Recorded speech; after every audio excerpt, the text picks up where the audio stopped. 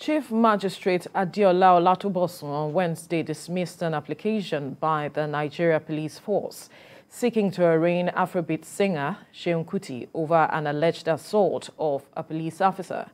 She adjourned hearing to July the 3rd to await a legal advice from the Office of the Directorate of uh, Public Prosecutions on the matter. We have details in this report. Seun Kuti came to the Chief Magistrate's Court in Sabo, Yaba, after he was released on bail on Tuesday. He had been in detention at the State Criminal Investigative Department, Panti, since May the 15th. At the resumed hearing, Police Counsel Cyril Ejiofor had sought the leave of court to arraign the singer, having preferred a charge against him. But Senior Advocate of Nigeria, Femi Falana, representing the defendant, urged the court to dismiss the application accusing the police of disobeying subsisting orders of court. Last week, this same court had delivered two rulings ordering the police to duplicate the case file and forward it to the office of the DPP at the Lagos Ministry of Justice for an advice on whether to prosecute the case.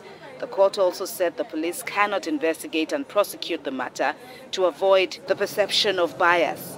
In response to the senior lawyer's arguments, the police counsel urged the court to dismiss the objection, saying that Section 23 of the Police Act 2020 empowers them to prosecute cases. The police counsel urged the court to dismiss the objection, saying that Section 23 of the Police Act 2020 empowers them to prosecute cases before any court in Nigeria, subject to the powers of the Attorney General to take over any case.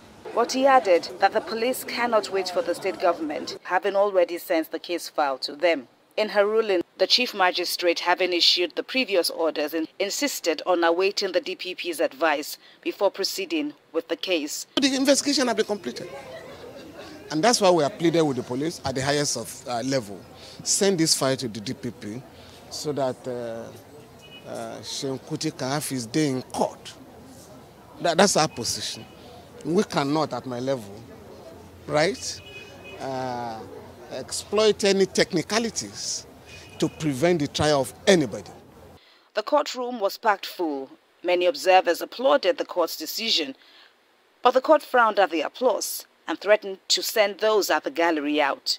Seun Kuti, who was in the dock throughout the proceedings, was also spotted jubilating over the development and turned to look at his wife, who was seated earning another warning from the court. Kemi Foladeyemo, TVC News, Lagos.